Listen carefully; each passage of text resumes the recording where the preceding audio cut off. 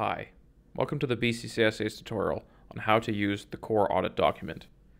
In this tutorial, we'll show you where to find the document on the BCCSA website and then some basic navigation techniques and also how to input information into the document. Let's get started. Before we begin, make sure you have Microsoft Excel installed on your computer. You won't be able to access or open this document if you don't. You can have it installed on either a Windows or Mac computer, it doesn't matter. The document looks the same and works with both platforms.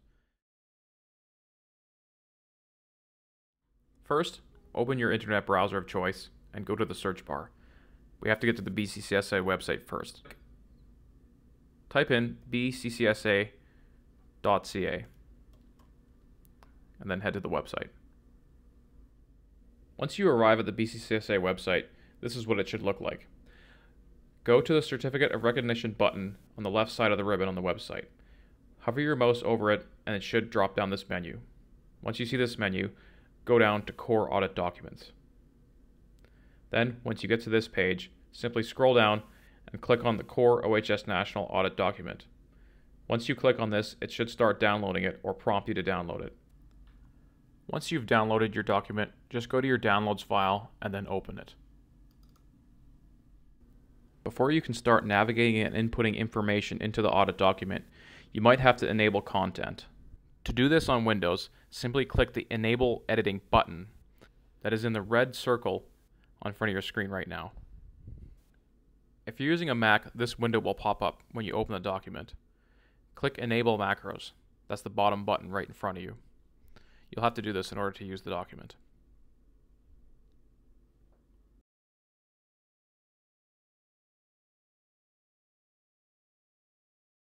First, let's start with navigation. To navigate this document, use your mouse to scroll up and down. The main way to navigate the various parts of the COR audit document is the tabs. Essentially, you click on the tabs at the bottom of your screen, if you can see me clicking there, to go to each one. If you notice here on the right side of the screen, you can't see all the tabs. In order to reveal them, click the arrows on the bottom left hand of the screen. That'll show all of the tabs and you can just keep going through and cycle through all of them. And then once you need, if you need to go back, you can just cycle back. You can also scroll up and down to access different parts of the page. Sometimes pages are longer than others, so it will require you to navigate and scroll in order to access different information and different areas to which you're going to fill things in. You can also navigate side to side in the document.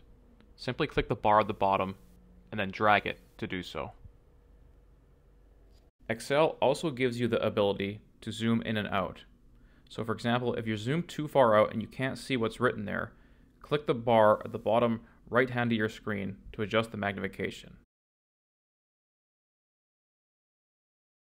For whatever reason, sometimes the zoom function does not appear. If it doesn't, just click the gray space where it would be and it should pop up for you.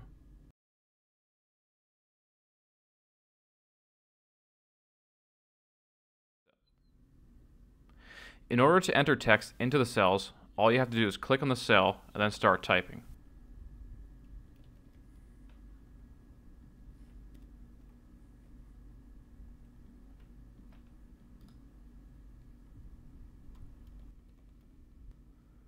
Sometimes they require you to select from a drop-down menu. If I click this, I can deselect what I've chosen if I've chosen the wrong item, or I select the X if that's what I'm looking to do.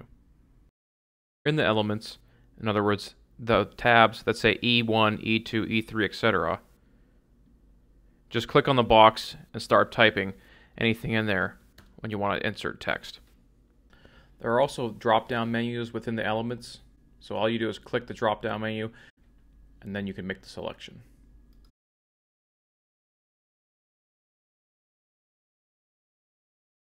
want to start typing on a new line, when you're in one of the elements, specifically in the cell, in Windows, all you have to do is hold Alt and then press Enter. On a Mac, hold Control and press Return. And you'll go down to the next line. Sometimes when you're entering information into the cells and the elements, the boxes might be too small. So you can see in this case, I've only got one line of text here, but I've actually entered in two. To do this, you have to change the size of the box. So if we go over to the left-hand side here, underneath each number, So that's basically underneath the cell or underneath the dividing line between 1.1 and 1.2. I put my cursor here and I see this symbol. I can then click and then drag down. That increases the box size. So now I can see both lines of text that I've inputted. You might have to do this a few times or quite often in each box if you're typing a lot. Some people like to use the formula bar to also enter text into a cell. So to do this, first you need to just click on the cell, and then you can go up to the formula bar start entering in the text. If you need to expand the size of the formula bar, just hover your mouse over here until this icon appears, and then drag down. That way you can see all the text that you're entering in into the element. Make sure that when you're auditing, you're saving your work frequently. That way you don't lose anything if your computer runs out of battery or if you shut it off. It might be handy to save this on a cloud system, so iCloud or Microsoft OneDrive, for example. That way, if your computer is stolen or your hard drive breaks or something like that, you won't lose all your work.